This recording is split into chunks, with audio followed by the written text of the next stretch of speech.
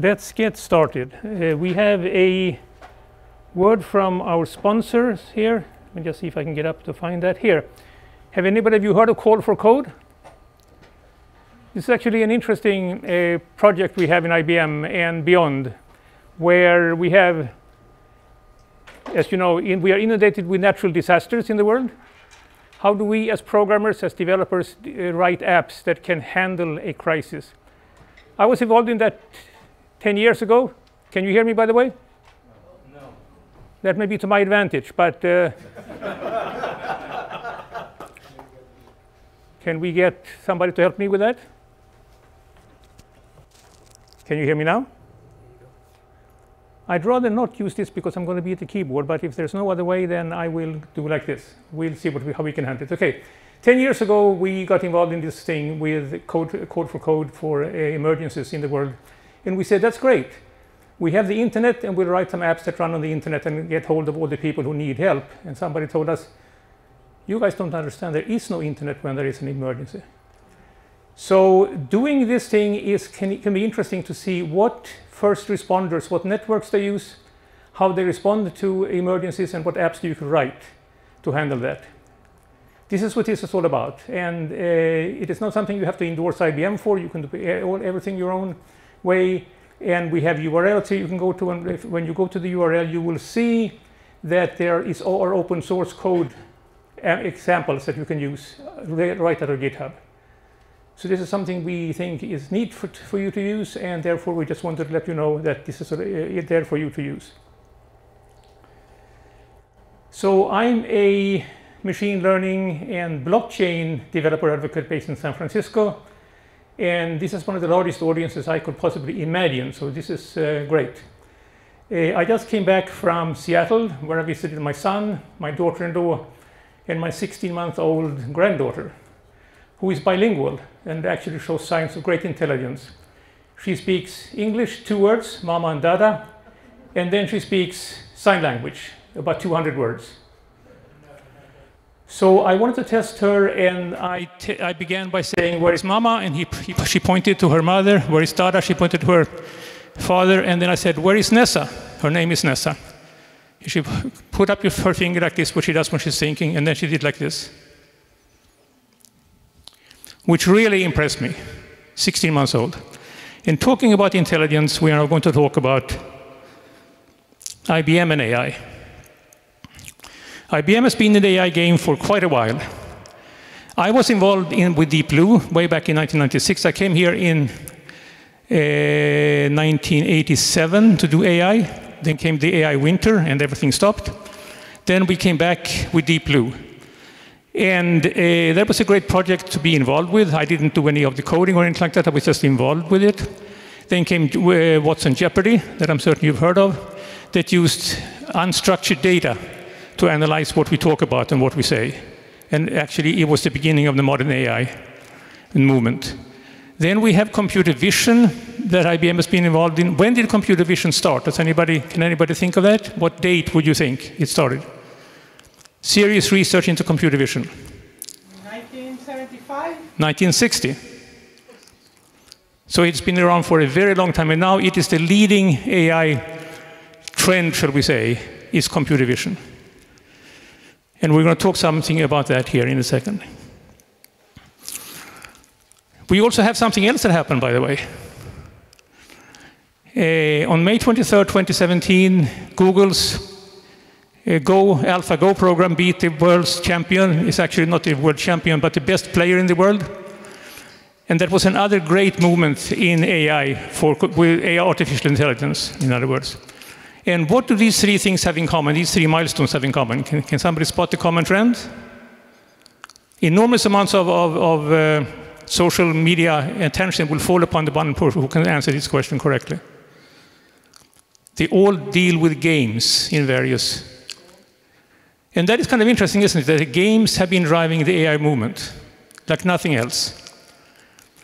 And I'm not sure why necessarily, but that's what is happening.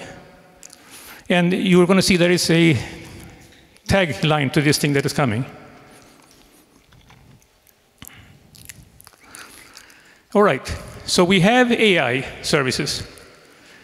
And where do we go to get hold of those AI services? And the answer is we go to where? Where do we go? So if you now wanted to, do, to begin to work with Watson visual recognition, where would you go to do that? Where is Watson visual recognition based, hosted? Cloud. Yes, very good. In which cloud? Yes. it doesn't matter. The, uh, there are similar services in AWS and Google Cloud and Azure as well. So I'm not necessarily super patriotic here. These, these are, this is, is, is all over the map, so to speak, all over the world now. But here is the interesting thing. We, you and I, and anybody with a simple credit card can get hold and begin to use these visual recognition apps in the cloud now if we wanted to. If you pulled out your credit card on your laptop, you would have this up and running in within five minutes, say. Why is that so specific or so ama amazing? Because there's no, no longer any hurdle to using visual recognition or the other services from any cloud provider. The cloud is what makes them e easily available. And even if we may not be, be able to run some one of these services forever, we can run them for long enough. We can run them for an, a day and uh, an hour if we want to. We can run it for a week. It, it's available to all of us here. There is no reason for us to say that we, I, I don't know where to go for, for running these services and so forth and so on. I don't have the money. We all can do it, even if we have a lot less money than we have here. This is the first thing I'd like to leave you with, so to speak. Now we'll see if I can do this and program at the same time.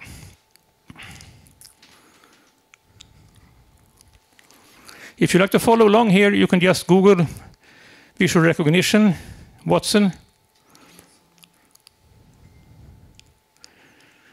And this is something I wish you would do because it doesn't cost anything. You don't have to sign up for anything. It is just out on the open internet. Here we have it. You can, you know, that's a good point. I should have thought of that. Uh, that was one of the tests we didn't run. I blame other people completely. But anyway, I can talk to it. We're now running the real test here. And you can see we have something called a general model, where we can spot that this is fabric, gray color, hair is tweed, etc., etc., that we can see. And the model, which is a machine learning model, has been trained on an, in a number of areas, and it can be come up with this kind of response, which I think is pretty neat. And now I'm going to uh, do a quick change here.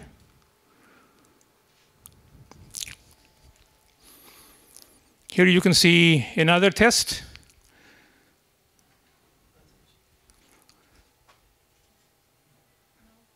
Okay, okay, okay, okay.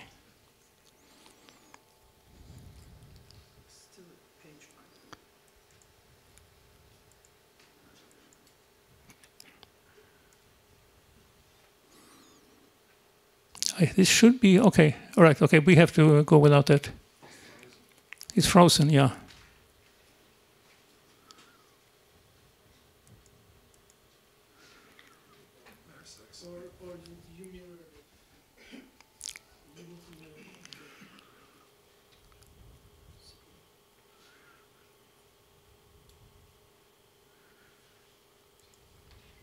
Let me just do this and reboot.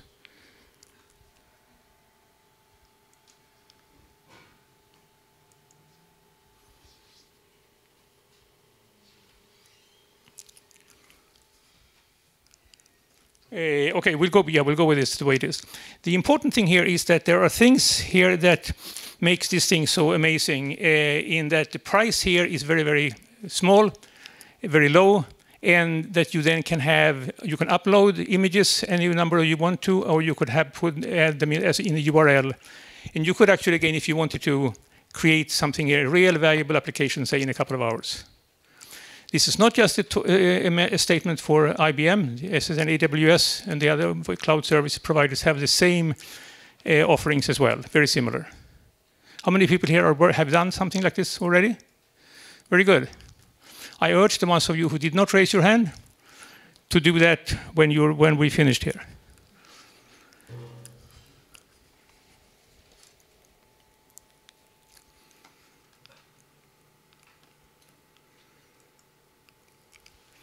Here we have a number of other services the same way. Speech to text. Can you think of a use case for speech to text? I could not, I do hackathons. And two years ago, I talked to a young lady who came up to my booth who said she is a nurse in Southern California and she wanted to do speech to text. And she was ready to start a company with it because it was so amazing, she said. And I said, speech to text, that's kind of boring, isn't it? Somebody speaks like me and you generate text. Why would anybody want to do that? Yes? Search. Yes, search is one thing, but one more thing. This is a hospital setting. There's a nurse involved and there's a patient involved. Why would you? Why is speech to text so enormously important? Yes. Because the, the patient probably points to devices and he cannot just start uh, typing or communicating, sending email or checking. So another another very good use case, but the use case she had in mind was when when yes. Take notes. Take notes, yes, but when and why? The doc, uh, the doctor giving instructions. More than that. But if in operating your hands, you can't. You see, there are lots of use cases. The one she had in mind there was a, little bit of twist to what you were coming up with. When you release a patient, the release nurse has to sit and talk to the patient and say, "How was your visit? What, what did you think about it?" And when, when the patient answers, she has to type it on the computer. With this service itself, she could get rid of the typing and the patient would talk directly and she would get text out of it. And she has subsequently started a company on that. That shows you how a very simple cloud-based AI uh, service can mean nothing to most of us. I certainly would never have thought of that, but other people can say, that is a lifesaver for me, and it is also very cheap to create. So think of it in those terms as well. This is something, these services are really good to know about and tone analyzer is tone analyzer. That allows you to analyze my tone of speaking. If I don't like what I'm talking about, I may sound very angry, or if I like something, I may sound very happy and very nice, uh, which I usually am anyway. But the point here is that you can have this at the call center and see what the people who call into the call center, how they feel. If they are mad as hell, so to speak, it will come out by the tone, not by their language, by the tone of the voice. You can, you can analyze that. So there are a very large number of these services. Watson Assistant demo is used for chatbots, which are becoming more and more important. In IBM, we use chatbots now internally a lot. Instead of me calling somebody up, I talk to a chatbot. That actually, that actually gives me the same information that I would have before from a human being. Personality Insights is another one where you can analyze somebody's personality, which is being more and more used when you hire people. So be aware. Be at your best behavior. Discovery news, you can analyze news and see how, how, for instance, IBM is being perceived in the, in the marketplace or how we are being perceived in the marketplace. Now we come to something very, very important. And there's a twist to this thing, so pay, please pay attention. IBM recently created or built Summit. Have you heard of that computer? That is the fastest computer in the world, beating the Chinese for the first time in a long time, and making all the patriots east and west of the Rocky Mountains go wild. But there's a twist to this news. You notice it's no longer IBM's computer. It's IBM and NVIDIA's computer. This is the first time this has happened. So what has NVIDIA to do with IBM's supercomputer? This is no longer a supercomputer of the classical type. It is a supercomputer of the new type, an AI supercomputer that also can do classical calculations on weather forecasts and things like that. AI is changing IBM and it's changing the US and it's changing the world. And we see that here. And why do we see that? Not just because of NVIDIA, but because of the graphical processing units, the GPUs, that are now the cornerstone of AI. You might spend your lifetime working in AI and never do any coding, but only work on hardware. And what you would work on would be GPUs and surrounding technologies. This is very, very important to understand. And you don't hear that as much about this as you ought to, So here, for instance, you know, here, each node is equipped with six NVIDIA Volta Tensor Core GPUs, deliver total output, etc., etc. This is as much as, as, as an AI computer as anything else we've had before. And the Chinese will retaliate, as we can expect them to do, because they have some very smart AI people as well. And, but it will be a GPU battle. Exactly what makes the GPU so enormously important, I must admit, I am not certain of. I haven't studied up on that. But it is true, nevertheless, that that is what is, is makes AI possible today, and especially over, uh, advanced at such a rapid pace.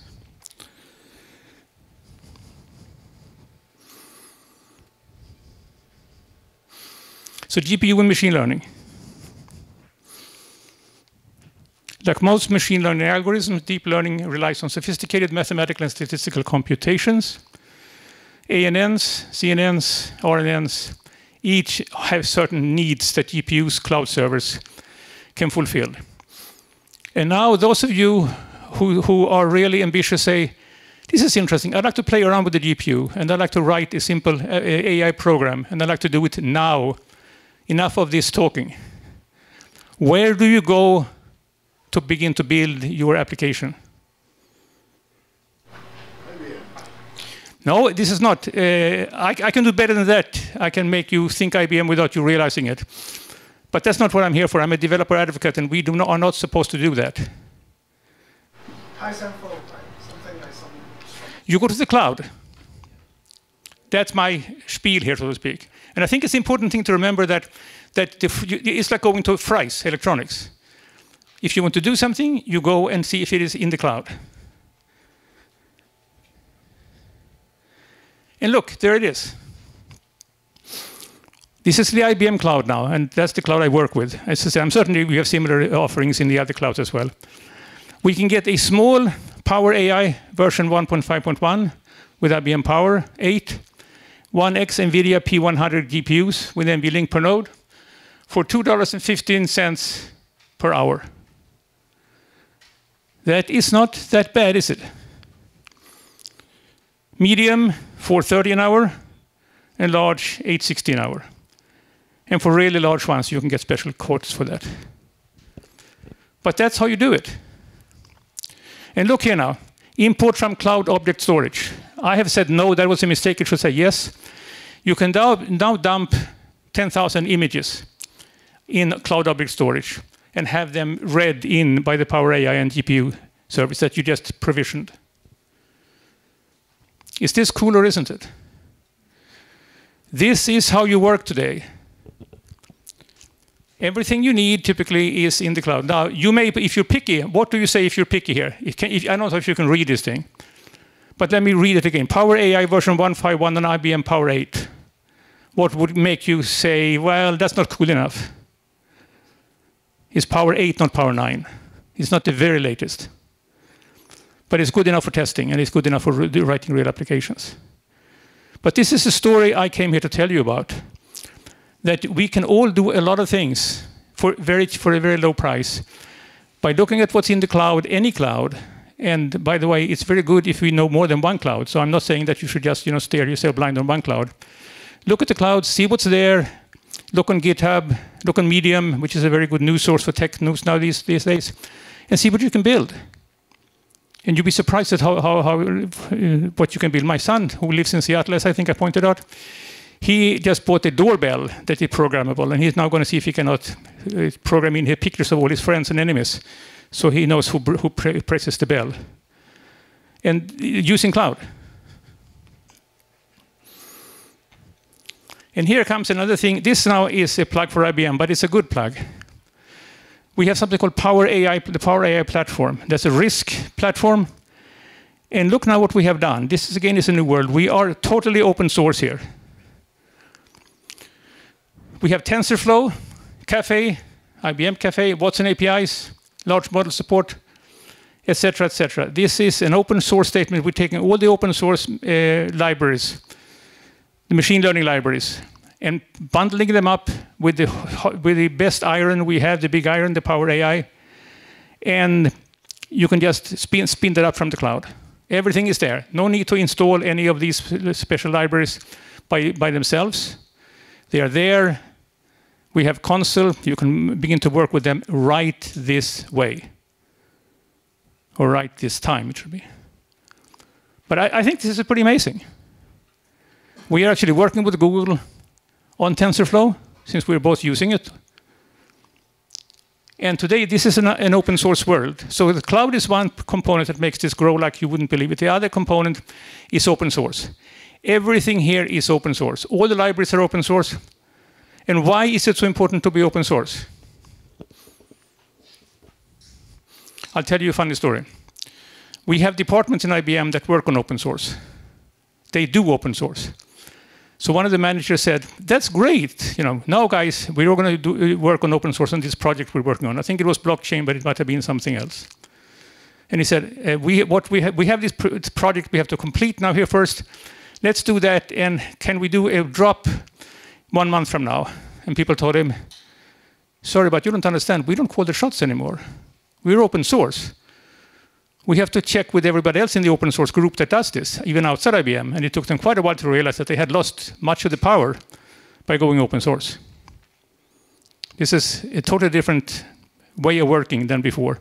And these frameworks, therefore, are also is, are the cornerstones of machine learning.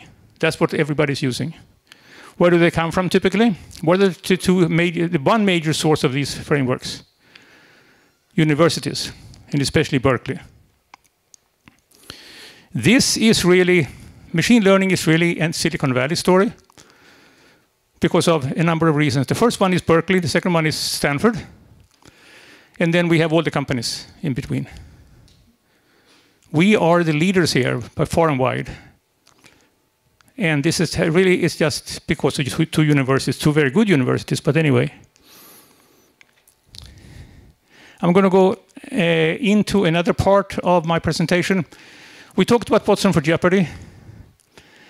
It became, it forked and became Watson for Healthcare, Watson Service in the IBM public cloud. We covered the latter. We all know how to get there and take a look, and I know, I know you will do that at some point to take a look at what we have in the public cloud. But Watson for Healthcare is not in the public cloud. Why not? What prevents it from being in the public cloud? HIPAA, yes. It would be totally impossible. If some, anybody tells you it's, in, uh, it's HIPAA compliant, they are not telling the truth.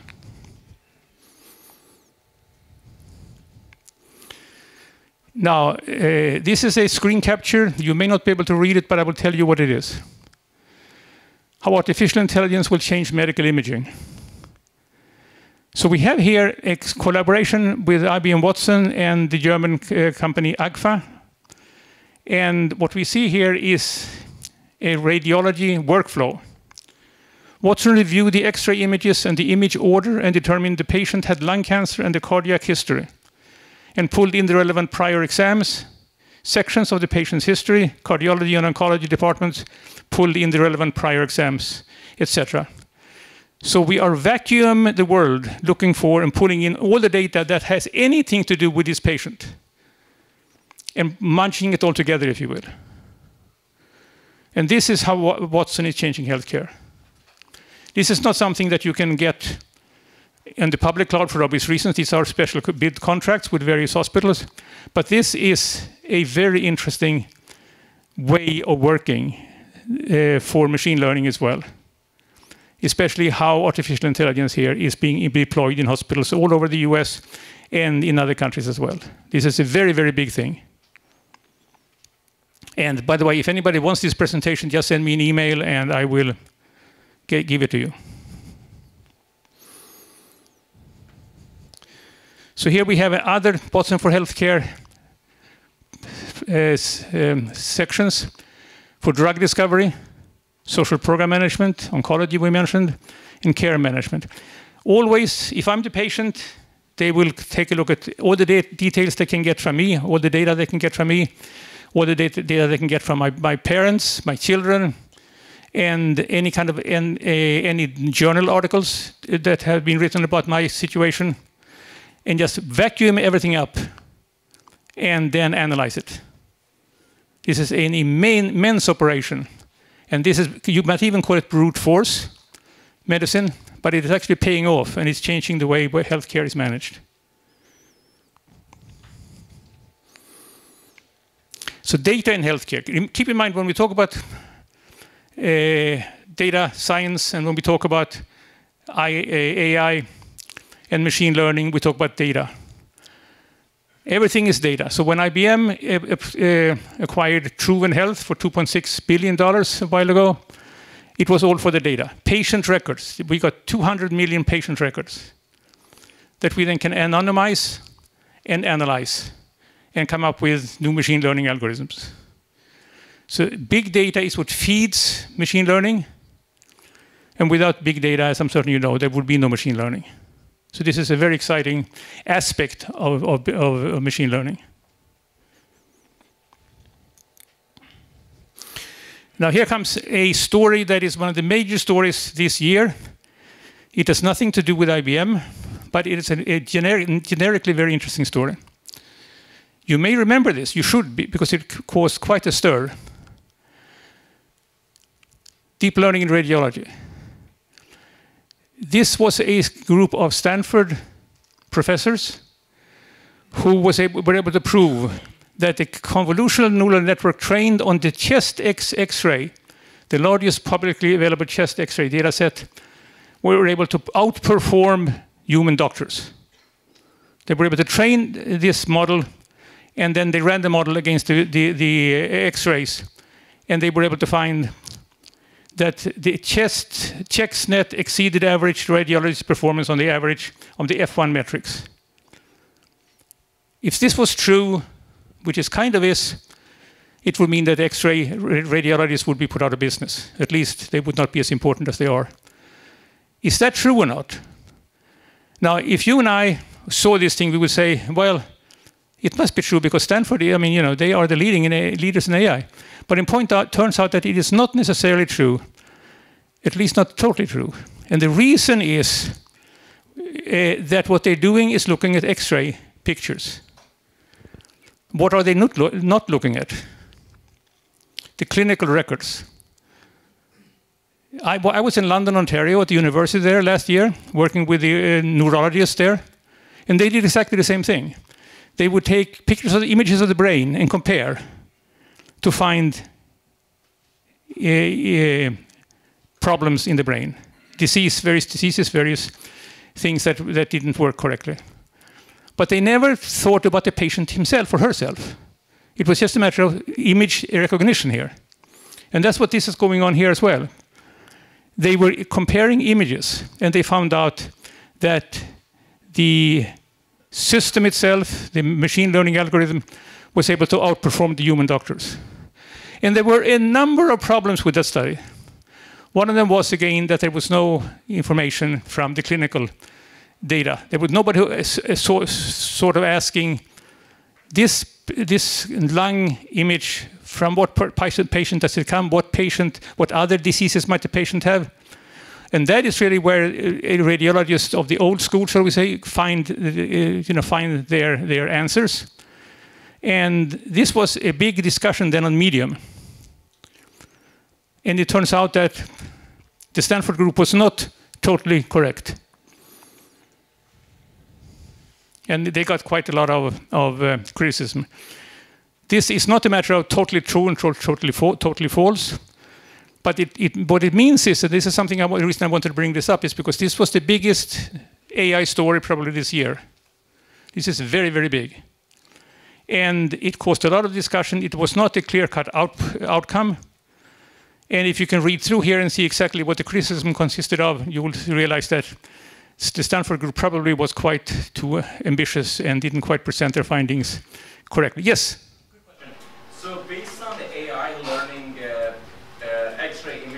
Right. to doctors, you think the AI is already trained based on the other images, not based on the... A sample set. They have a, so when you, you work with machine learning, you always start with a big data set of some form. And they had that data set. There, was a, uh, the chest X-ray, chest uh, ChexNet was the big data set they had.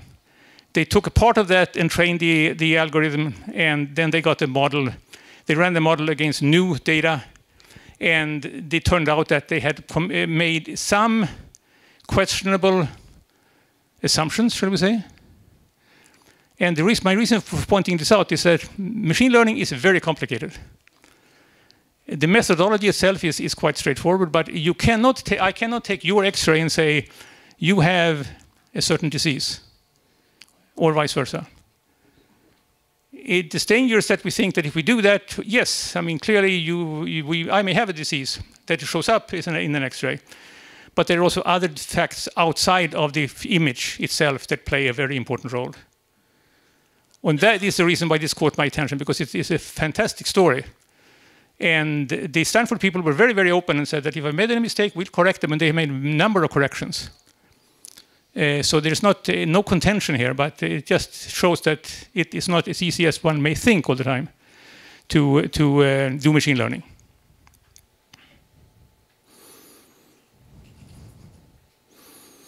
Machine learning and big data. I put in this thing because I think it is kind of neat. The sexy job in the 21st uh, century, and this is the truth. This is the true story. If you suddenly were to start doing machine learning here, you would start by cleaning data, which is ugly and dirty and filthy and utterly boring.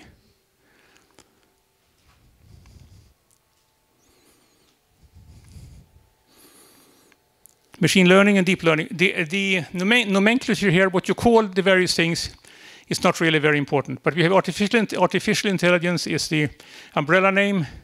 Machine learning comes then, like Netflix video recommendation, Facebook facial recognition, not very advanced, and the most advanced is deep learning. Self-driving cars and speech recognition, etc. But don't be hung up on that. Don't criticize your neighbor or best friend because they use the terms wrongly. And if somebody tells you that you use the term wrongly, tell them that you know what you're talking about. Tell them you, you check with your machine learning buddies and get back to them. Convolutional neural networks. If you're interested in neural networks, you should study convolutional neural networks. That is where the where the where the hottest stuff is going on today. Everyone is, is including IBM, is working on these. And uh, exactly what this entails is hard for me to explain because I'm not sure I can explain it very well anyway. But I was at a, uh, at a conference, an AI conference in San Jose a couple of six weeks ago, and everybody was talking about convolutional neural networks. This is the hottest thing. And again, the, the, the, thing here is that it's easy to get started. Anybody can get started here very easily. But once you get a little bit into this field, don't be, don't be surprised if you suddenly say, my God, I have no idea what these people are talking about. The, the, the people who are in this field are not paid the salaries they're paying because they have a pretty face. They really have to know what they're, what they're talking about. But at the same time, machine learning is changing the world.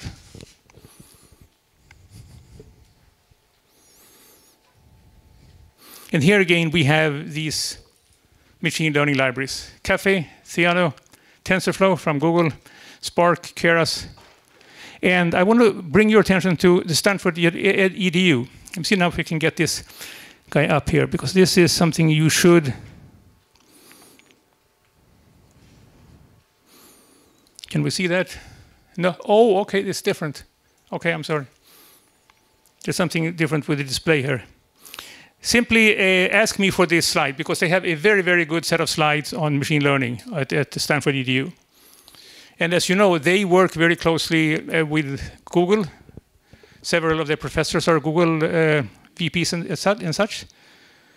Uh, on the other hand, Stanford has not been as good as Berkeley as, as creating libraries themselves. Berkeley is much long, far ahead there, and I'm not sure why that the difference is, but it is there is a difference. But this is absolutely first rate slides. If I could scarf them, I would, but I can't.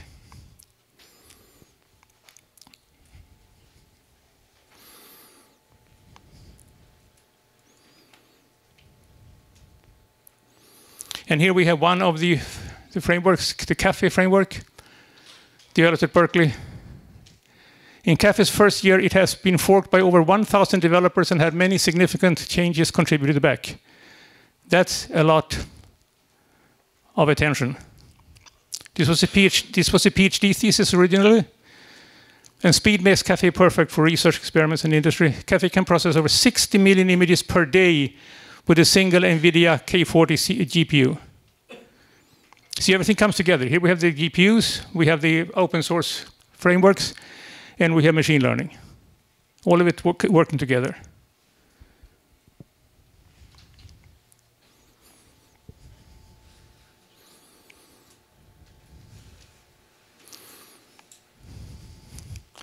IBM has now taken a step in the right direction and created something called Watson Studio. So whatever you want to work on AI in IBM you, uh, in the cloud, you start with Watson Studio. Speed it up, doesn't cost you anything, and you can begin to work and then go either into uh, you know, AI, into machine learning, or any other area of, of, of AI you want to. But we have a very different, nice, nice user interface starting with the Watson Studio. And that's, I wrote an article on that in Medium if you want to take a look at it. And the Watson Studio is in the cloud. You simply spin up an image and you're up and running. Again, everything is in the cloud, the studio is there, you can begin to work with it and create your own images. Very, very easy to work with.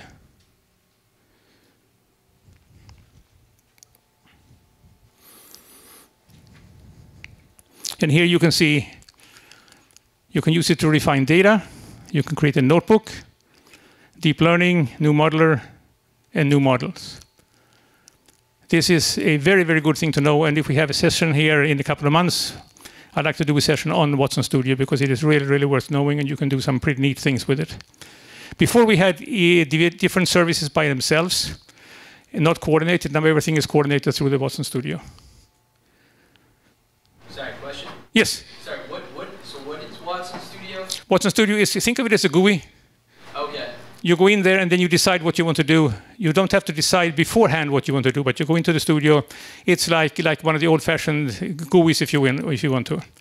And then from there, you then decide, for instance, to, to, work on a neural network, and you begin to create that one, or you create something in R, or whatever you want to do. Okay, so it provides some of the components for you. Exactly right. Yeah.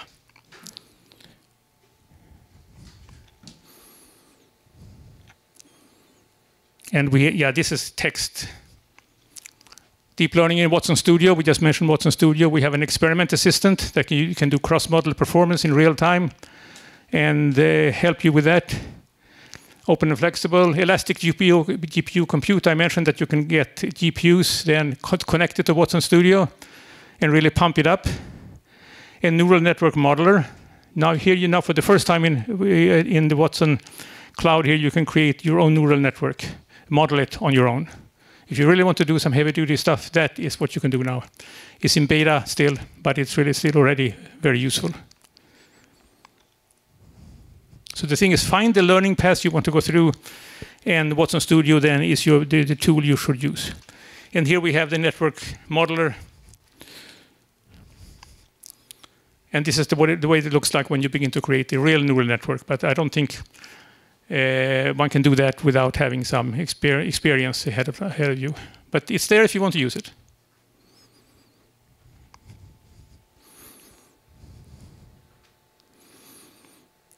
And here we have a graphical picture here of the Watson Studio. Kubernetes containers are there, multi-frameworks, TensorFlow, PyTorch, Caffe, Keras, the ever-present GPUs I mentioned. And this then is the stack you get if you go into and begin to use Watson Studio. And other providers have similar software as, as well, of course. But that's how you work in this space. The Watson Knowledge Catalog. What we have now also created is we have the, we have learned now that everything is deals with models. I don't want to create my own model. I don't want to have to create from scratch. I don't want to have to create a neural network from scratch. I want to pick up existing models and trade with you. I provide them, you take them, they're all open source. And this is the big thing now that IBM is into. And we're not the only ones. Model asset exchange. So we create the models, machine learning engines like TensorFlow, PyTorch and Caffe. We have a standardized approach to classifying them, and then we can trade them on the open market, just like old-fashioned class libraries.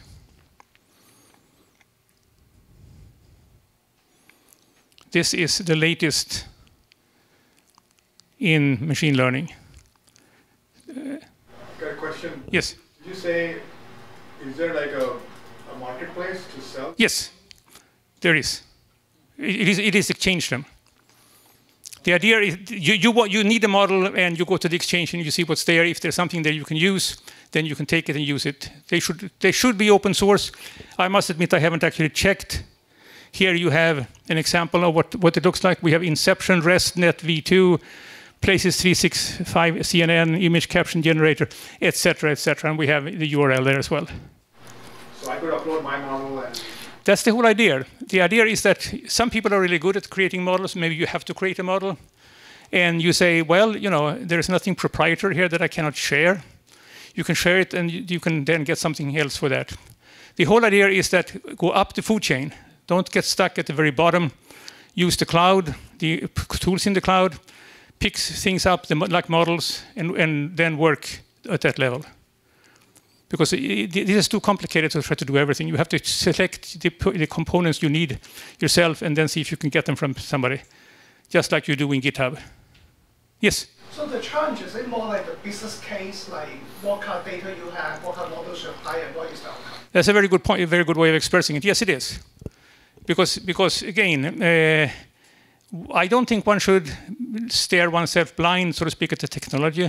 You're right. It- it- You have a business case, and then the first thing is what, what can I reuse? The first thing you need is a large data set, like for this chest X-ray. Uh, everything is driven by very large data sets of patients, of, of consumers, of whatever. And then you have to make certain you can scrub that, and then you create a model out of the data set. Now you have the model, you can test the model, and then you say, this looks, works pretty nicely. I'll um, open source it. Because if you open source it, you get like Caffe.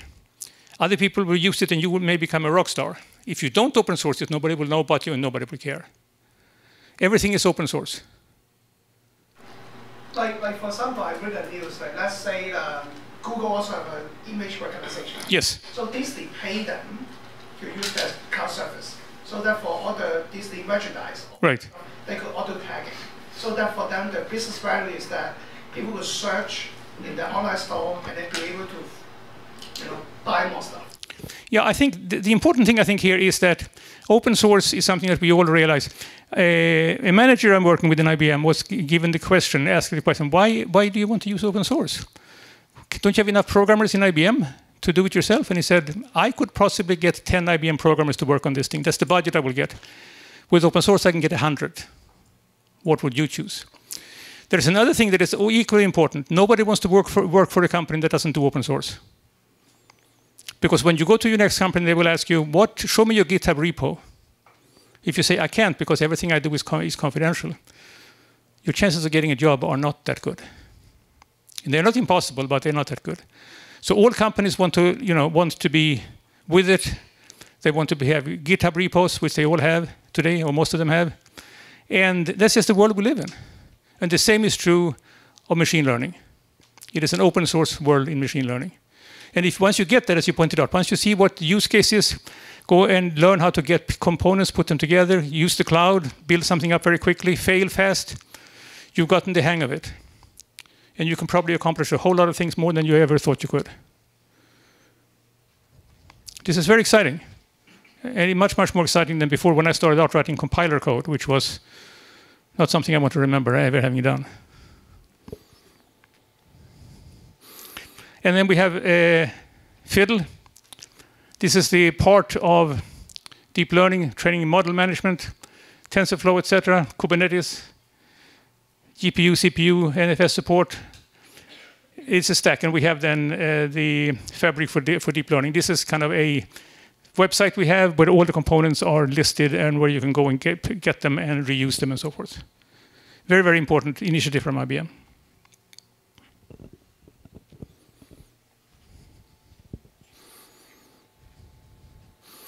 We also have here a number of sample applications, patterns as we call them, that you can take and build these things from scratch. They're all up in GitHub. And if you want to build something more, more on your own, you can take this and just, just deploy it. It runs out of, out, of, out of the package, out of the box. and you can deploy it, and you can then begin to change it. And with our blessing, we want you to take it, we want you to, to copy it, we want you to change it. The more you change it, the, happier we are. This is a very, very important aspect of this thing, these, these patterns, code patterns. We have people up in San Francisco who do nothing but that, and also in Austin. And we use them all the time ourselves. So all the pieces are here. All the pieces are here for you to use. And just remember where to look and take a Stanford class or two, and you will be on your way to more money you have ever than you've ever dreamed. well, I, I think that way. I'm sorry. and here are the code patterns for AI. These really are important because, again, they're all there, they are, they are documented, you can see them, and you can begin to take a look at them and, and work with them. This is a treasure trove, actually, uh, and all we're asking is that you use them.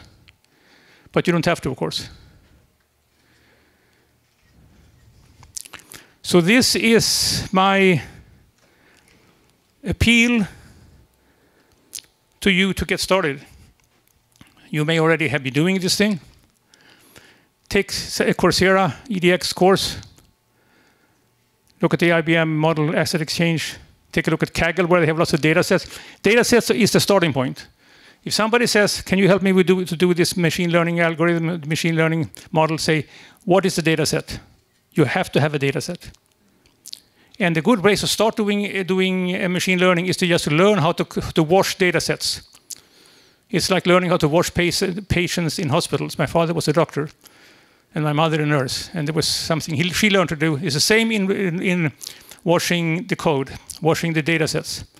Because they are not correct all the time. 99% of them may be correct, but then there are errors. A field may, supposed to, may be supposed to consist of an int, instead of it consists of a double. You have to change that and, and, and scrub it, and then you show it to uh, the data scientist to send you back to the wash basin again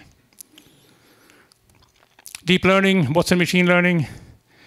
Take a look at everything we have to offer, take a look at what others have to offer, and uh, come back and with some luck, we may have another session like this in a few months' time. Yes? I just want to add that uh, tonight at 9 o'clock, there is a Discovery Channel program that IBM Discovery Channel had put together a documentary called This is AI. Okay, great. That, that's tonight at 9 p.m. Excellent. A two hours documentary. Very good. Any questions?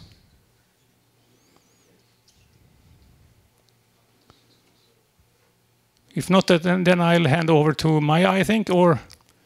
Oh, yeah, no, wait, wait, wait, wait, wait a minute. Don't come yet, Maya. Wait. Here. Okay. She promised me to put this up. And I'm so scared of her, if, if I didn't do that, that you wouldn't believe it. These two links, click on these and you will become happier than you've ever been before in your life These links are on the cards that are on the seats. Uh, so don't have to take a photo, but if you didn't have a card on your seat, please feel free to take a photo. Yes. And just, uh, we want to see all the cameras up now. All the cameras up. So what is your email to get the stack of the slides? Yes, so everyone who's registered, I'll be sending you a follow-up email. That's why we collected your emails. It's the only email you'll get from us. We will not spam you, we promise. Um, and next, we're going to be handing it off to our lovely H2O speaker. Yes, exactly. Thank you.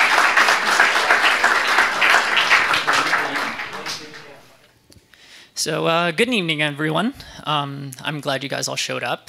This is uh, really exciting for me. Um, first, first time seeing a couple hundred people in a room all staring at me.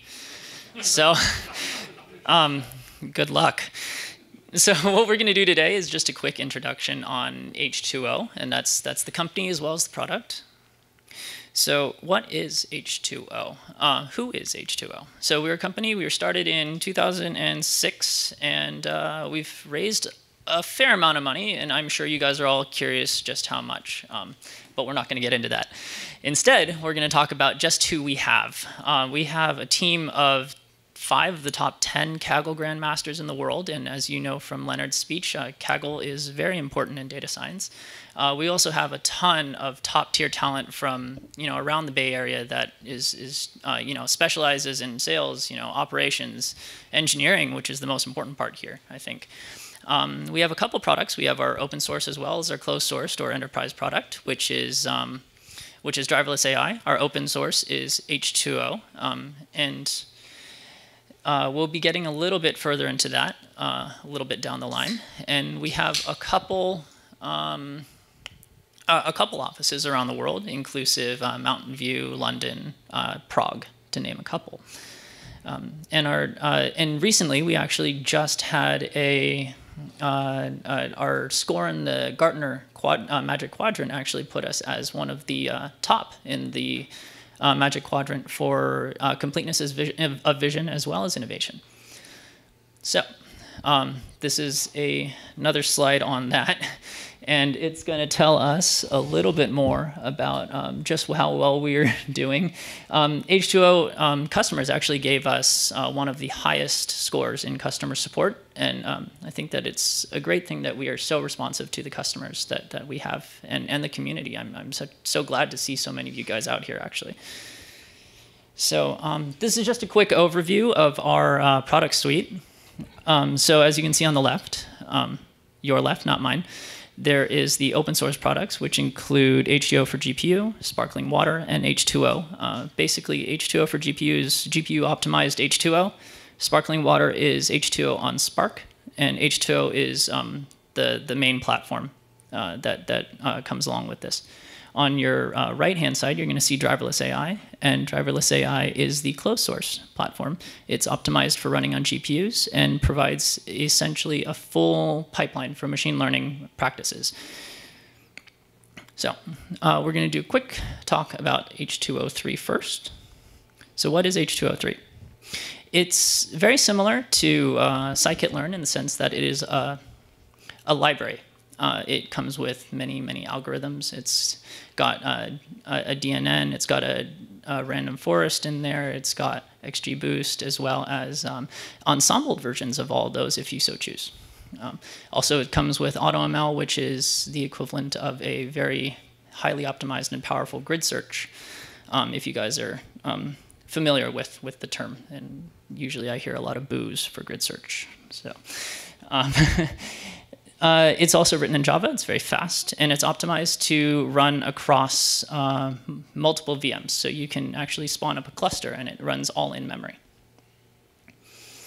So this is just a uh, example of some of the the, um, the algorithms that we have. Um, as you can see, uh, we have a couple for clustering, dimensionality reduction, uh, word word uh, word2vec for word embed embedding, as well as some of the more predictable predictable ones like uh, GLM, random forest, um, XGBoost, you know. Uh, so this is this is a little bit of a simplified a simplified version of of our pipeline. Um, essentially, you start with some data. Uh, it can be distributed in Hadoop on a uh, blob store like AWS or GCS. Um, the first step, uh, obviously, is uh, data munging. So it's going to be you ingest the data into some format, usually in memory, um, and you have to transform it. So it's going to go from a whole bunch of like columns and rows into something that you actually want to put into a machine learning pipeline. Uh, from there, uh, you are actually going to select your target and train some models. The output model is what you would ultimately predict on. Uh, so this is just a high-level architecture of uh, what H2O would look like running either on the cloud or on-prem. Uh, essentially, you have the data, which is going to be from a blob store of some sort or HDFS, um, and then you have your H2O stack. Now, it's going to uh, options, you know, for running the stack may vary. Um, but essentially, what you can do is once you get the data in, you have it for exploratory analysis as well as um, data munging, and then also prediction and training of models. So that's just a quick overview. Uh, we'll talk about driverless AI next. Um, I apologize if I'm talking a little too fast, but um, we can uh, go over any questions if you want some clarification on anything else. So with driverless AI, driverless AI is our enterprise product. It is really darn cool, if, if I were to say so myself. Um, essentially, what it does is it captures the entire machine learning pipeline, and it basically gives it to you. Um, I think the, the vision of H2O was always kind of to democratize AI and democratize machine learning. Um, yes, sorry. Uh, Can you repeat that? Can you open that, the last sentences you said that it takes the machine learning pipeline and gives it to you. What does it mean? Absolutely. So um, I, I will continue on. Actually, it'll, it'll be uh, following in just a second. yes. So um, the, the idea behind H2O was always kind of to democratize and give access to everybody the, the ability to do machine learning. I think that's something that is really encompassed in driverless AI and the fact that we are able to package up the entire, entire machine learning pipeline and provide it to a customer.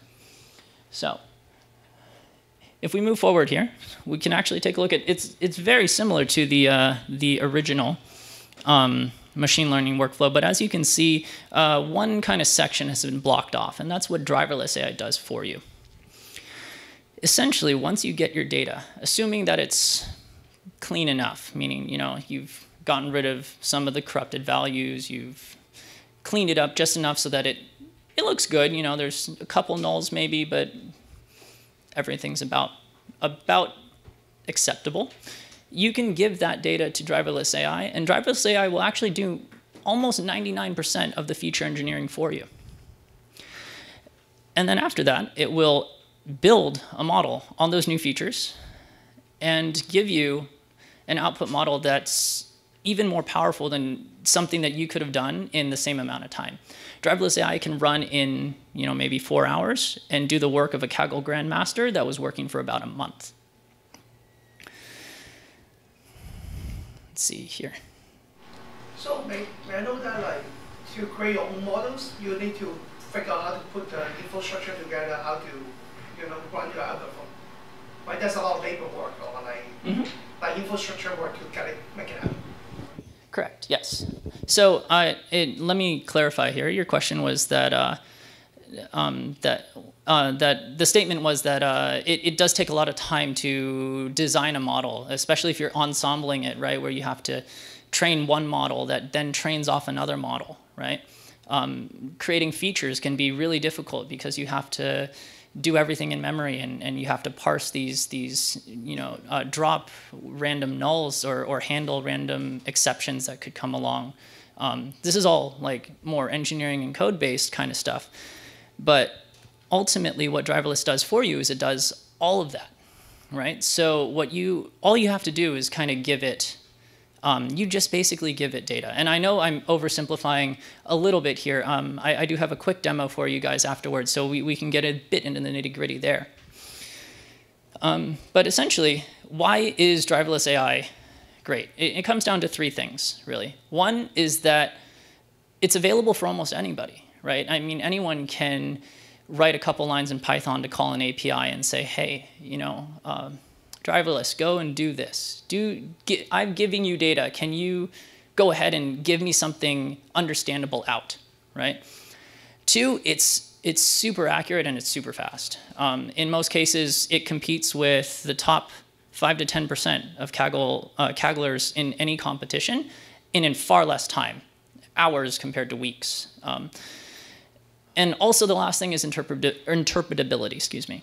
Um, we package it with something called MLI, uh, Machine Learning Interpretability, which basically will take any of our models and build surrogate models on top of it that are easy to explain and also easy to understand so that when you have to go to your CEO or C-level exec and say, hey, I made this model, it does things. They're not going to look at you and say, but why? And, and, and you're not going to be able to say so. Um, uh, you know, with, with uh, neural nets, it can be really, really complex because even if you know why certain weights changed, even if you know the algorithm that is changing those weights, a lot of it comes down to you don't necessarily know the full reason why the net decided to do it, other than the fact that I gave it a ton of data and it made a decision for me. And now look, it's, it's saying that you're sick, but I don't know why, right? Am I, I think I'm going backwards. Okay. I, yeah, I, um, I was trying to be fancy and so that I don't block the screen like this, but it seems that I, I've been beaten in my own game. So, um, so yeah, so we're, I was just talking about accuracy. This is just another slide. It basically is telling the same thing is that, that in, in most cases, we actually do really well against um, known data sets. So like a lot of them, are, uh, we, we benchmark ourselves against Kaggle because Kaggle has some of the best minds in the world competing. In fact, I mean, we've hired, what, five, five out of the top 10, I believe, um, and, and, and decided that they're, um, they're going to build our product, right? Um, so uh, this is a little bit more about feature generation, um, which is uh, one of the, the core things about driverless that, that actually makes it that much better. Um, it does a lot of the, the statistical feature transformations for you. So it'll handle text. It'll do frequency encoding or, or um, categorical um, uh, encoding. It'll do clustering and, and create um, uh, create labels based on those clusters so that you gain all the more inference out of your, out of your uh, data without actually having to write the code to do it. Um, and then ultimately, you can deploy it. So what ends up coming out of uh, driverless AI is uh, either a Mojo, uh, which is a memory optimized Java object, Pojo, which is a plain old Java object, or you can get a Python scoring pipe, uh, package. And these are all easily deployable. You can put it on any machine basically and have it as a real-time score. You can also use it for batch predictions. So um, these are just a, a couple things that uh, we've been working on with IBM. Uh, I know that uh, Leonard did mention FfDL, and interestingly enough, the first thing on this slide is about FfDL. So we uh, were working very closely with the FfDL team in the last, um, I don't know, maybe month or so uh, to get a deployment of H2O, uh, our open source, on FfDL. Um, so now you can go to the, uh, the FfDL repo. You can actually go in, deploy FfDL on your Kubernetes stack, and then deploy H2O jobs as if it was any other job um, that you would want to deploy via FfDL. So uh, you can train train models uh, on H2O, get them, save them, and it would be very much the same uh, steps as using any of the other uh, machine learning pipelines that they have in, in the product. Um, and then also one other thing for uh, IBM Cloud Private. Now, IBM Cloud Private is obviously not um, open source. Uh, we are now offering, um, or rather we are prototyping and developing the um, driverless AI offering onto uh, ICP. And uh, I just wanted to show you because it is really exciting. Um, essentially, ICP is also on Kubernetes. It's a, uh, a Kubernetes um, deployment in which you would be able to put any of the other machine learning stacks on. And, uh, and so we will now have, uh, or very soon, have driverless AI on uh, IBM Cloud Private. What's the pricing model going to be? Uh, price per model, sorry? What's the price? How much? So the, the pricing does vary. Um, obviously, don't really want to talk about uh, cost exactly. Um, but uh, the cool thing is that we're actually coming up with uh, a lot of new uh, value propositions for the person who do doesn't maybe want to spend, you know, $100,000 on a license. I, I'm making that number up.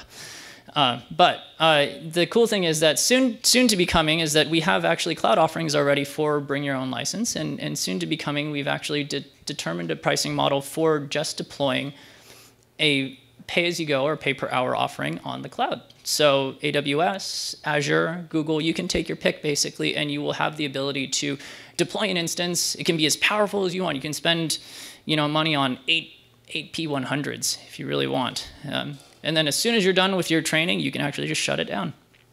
Um, and then the next step would obviously be if you wanted to in, uh, run inference, which you don't necessarily need eight P100s for. Um, you probably don't need GPUs at all.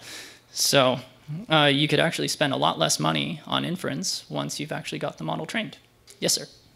Um, do you support uh, the TPU cluster?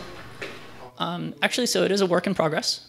Um, so we work very closely with the GCP guys. Um, and it is definitely something that has been talked about and uh, and considered. I don't know specifically where we are on that um, that stage yet, but it is definitely something that we would love to have going eventually. Yeah. So, um, as I promised, I'm going to do a quick demo here. Um, sorry, one more question. Yes. Yeah, I wanted to know what um, current applications are you seeing in use cases? That is a fantastic question. Existing, Yeah. do you have existing customers? Can you talk about some use? Yeah. Um, so actually, let's do this. As I'm going through the demo, uh, we can actually go over some of the use cases because I think it'll uh, tie very nicely into this. So um, right here we have basically um, a running instance of driverless AI. Now this is running on AWS, guys, so um, it's not running my, from my computer. That way you don't hear the whirring fans too much. Um, and we have a couple data sets loaded. Now, um, to start with, basically driverless AI is what we would call you know, a turnkey solution. It's supposed to be available for everyone. It's fairly easy to use. We, we give you a GUI um, if you want, or a Python client for those more apt to code. Um, from here, you can basically ingest data from several different sources, S3, uh, Google Cloud Storage, Google BigQuery, which is a data lake, um, Hadoop, if it, you have it set up, or just the standard file system. Um, now, I actually have data already in, ingested, so we're just going to go ahead and start with that. From here, we have a couple different options. You can describe the data. So that basically is going to do something very similar to um, pandas.info or pandas.describe, excuse me, um, uh, which is basically giving you kind of some information about each of the columns and each of the rows. Um, sometimes it's very helpful. you can also do uh, visualize. So AutoViz is um, a package that comes along with a, uh, driverless AI. Basically what it does is actually gives you um, graphical plots to tell us just a little bit more about the data without actually having to do any kind of, um, well, all the coding was done for you. As you can see, I just clicked it and it went. Um, so uh, this one is an outlier plot. Uh, basically what it's giving you is a couple dots per specific column as far as uh, what the outlier was, what the value was, and you can actually click on it and it'll tell you inside the, um, tell you the row, so you can actually take a look at it. Um, and you can actually go to um, kind of browse and see what's going on, why possibly it could be um, an outlier. Uh, either maybe there was a null, maybe there was um, a mistype or a typo or something like that, right? And you can browse through this for all the columns, and, and you can do this for every single uh, column that you have and every single plot that we have here as well. Uh, and now we get to the kind of bulk, the, the meat and potatoes, as I would call it, which is the prediction. So, uh, this is a, a fairly, um, fairly, I would guess, say famous data set. This is the airlines data set from uh, a while back. I believe it was hosted on Kaggle. But basically, the target is um, whether or not arrival was delayed. Now, uh, the idea here is that we go ahead and click target, and we say, OK, was arrival delayed? And what that does is actually gives us a, um, a little bit more in the GUI. It tells us options of whether or not you want to use GPUs. I could turn off GPUs, although we may not want to do that. Um, it'll also give us, um, the, uh, it'll tell you whether or not it's a classification. In this case, it is. It's a binary, is it a classification or not? And then it also gives us a little summary of what's going on. So if I, as I tune the knobs, and you may not be able to see this in the back, but as I tune the knobs up or down, it'll actually change the summary just to tell us whether or not something, uh, how the model is going to be done, what's going to be actually run, um, all the important things that you might want to know before actually starting a model, right?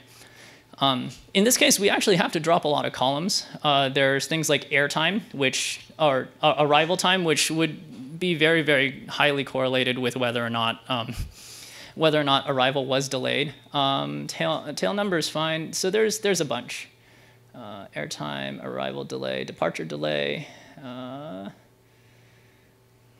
cancellation code, diverted, carrier delay, weather delay.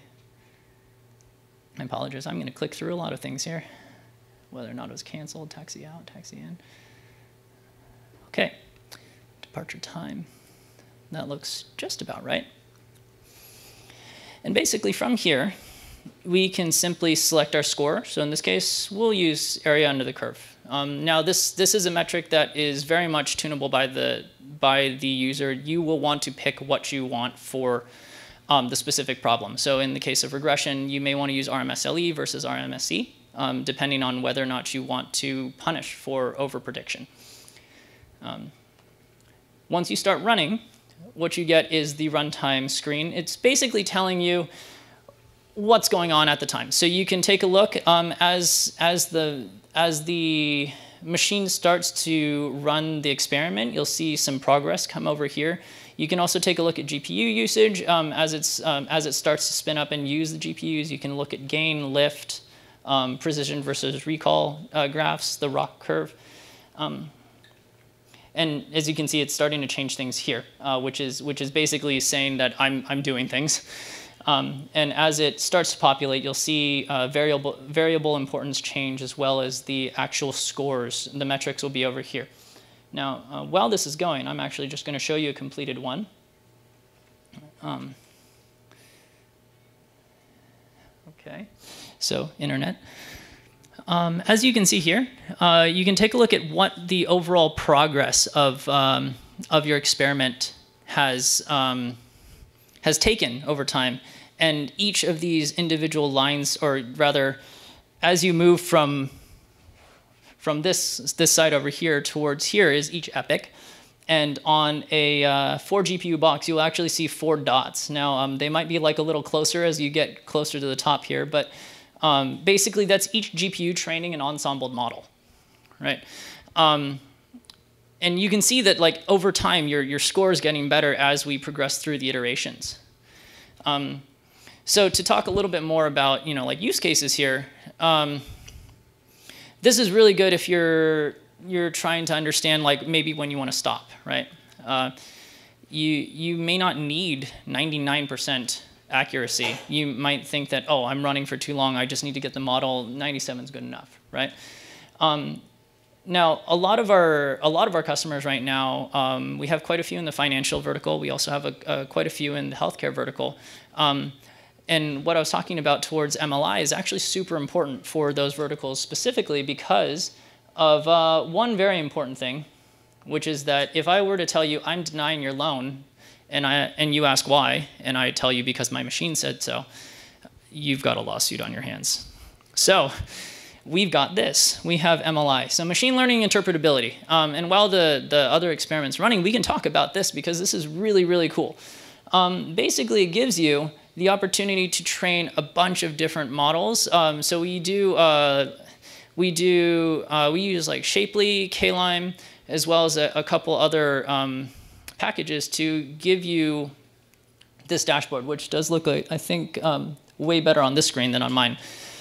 So uh, first things first is you can actually take a look at each of the individual points here. So if I highlight one point, it's actually telling me the reason codes behind why a specific um, row had the specific output that it did to a certain degree. It, so it was, um, it was it, as a result, and this is a different data set, I apologize. This is actually for um, a diabetes data set. So this is being um, a, a, data set as to whether or not you were readmitted based on some, uh, um, some data about how the, uh, or some data about the patient, essentially. So you can see that based on a certain, um, having a certain uh, medicine, uh, that was that was actually positively influence, influencing the prediction versus um, having a specific diagnosis. The second diagnosis actually was not so great to uh, to predicting whether or not they they actually needed a return. Um, at the bottom here, you can actually see a decision tree. So the decision tree is actually just telling you what path. Basically, it's it's the same idea behind um, any decision tree, which is just telling you why did I make that decision at a certain point in time. I decided to go left versus right. Why did I make that decision? Well, because of that specific diagnosis, diagnosis three in this case. And as you follow the tree down, you can actually see where that specific point took. Uh, you can also take a look at feature importance for the specific point, and it will vary if I click a different one.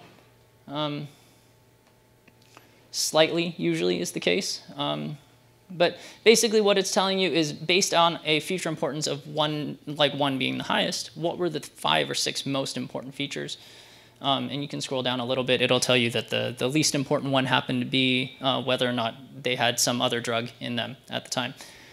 Um, so that there is MLI. Uh, there's a ton more to see with this, so if you have any other questions, we're happy to answer them. And so now we can come back and take a look at our experiment running. It should have given it a, at least a cycle or two. So as you can see here, um, it's starting to build up the, uh, the the ROC curve, it's starting to show us a couple outputs as far as like the initial models that were trained, and it's telling us that there's some variable importance here. Now, um, essentially, all these at this point should be mostly from the data set initially. Uh, once you start going to epoch number two and three and so on and so forth, you'll actually start to see more and more of the generated features that were created by driverless start to pop up. Um, the last thing that's basically user tunable is, and I kind of glazed over this initially when launching, is this right here. So you have accuracy, time, as well as interpretability. Uh, interpretability, the higher it is, means the more simple the model will be because you want it to be more interpretable. Uh, time going up means let, let the model run, let it go. Uh, and accuracy meaning just how close to 100 do I want to try and get? Like, do I allow it to run longer in order to get slightly better score, or do I run it a little bit less and allow it to be maybe not quite as predictive? So that is the, uh, the, the demo, the quick overview that I have. I don't want to hold you guys for too long, but if anyone does have questions, I'm happy to answer them now. Yes? So if you try to DIY to have take the data and do this kind of thing, like, does that take a lot of like engineering resources to do that to figure out how to put it together? Yes. Um, in fact, uh, so this in itself. I said this like not the UI, but like create a model. Absolutely. Uh, that is a fantastic question. The answer is yes. It, it does take a very long time. Uh, in fact, uh, quite a few of our Kagglers, have, uh, if anyone is a Kaggler, will, will know that you know they, they have month-long to two-month-long competitions for a reason. They're not um, short by any means. Um, and the reason is, is because it takes a lot of time. It, it takes time to understand the features to, to determine why a specific feature was valuable or not. Um, we have an iterative process that basically creates features and then decides whether or not those features are good and then dumps some of them and keeps the ones that are good and then trains some more features and then trains a new model on top of those new features. So it's very much a learning process for driverless AI the same way it would be, but the only thing is that GPU boxes are doing it rather than one human brain. Um, another, uh, I guess in the back there, yes? Uh, so uh, this would work only with uh, models that you want to do prediction. What happens with uh, uh, something like unsupervised learning that you want to uh, do some cluster or discovery on, on your data set? So driverless AI is um, does need a target that that is um, part of the the value add here. Um, now, if you're interested in unsupervised learning, I would actually suggest our um, H2O uh, open source is, is very very powerful at that, and, and the algorithms are all very much more optimized um, towards uh, towards that. Uh, gentleman in the back. Does H2O open source or driverless AI uh, have any ability for dealing with class imbalance? Um, yes, yes, yes. There is actually. Um, there's, I, I believe there's a there's so there's inside the configuration file you can actually set um, to detect a certain level of class imbalance. Um, absolutely. Uh, I know that it's in there. I, I couldn't point it to you exactly on the screen at the moment. Uh, yes, sir. If I have a very confidential data and then I, but I want to use the H2, Mm-hmm. and then what will happen? Because I don't want to upload it to AWS. I know it's maybe secret, but I don't want to. Sure. Talk about it. Uh, the good news is, is that you can actually, I mean, you can, this is running on AWS right now. Uh, you can run driverless on-prem. You can run it on your laptop and through Docker. You can run it on GPU boxes if you have one. Um, and, and you can lock it behind a firewall. I mean, these things don't, uh, this, this software doesn't need the internet to work. No. Yeah, or yes, exactly. Uh, anything else? Okay, I think in that case, uh, we'll let you guys go just a tad bit early and then enjoy the rest of the evening. Uh, except that Maya has something. I do, sorry. Before you go, and thank you so much, Nicholas, that was awesome.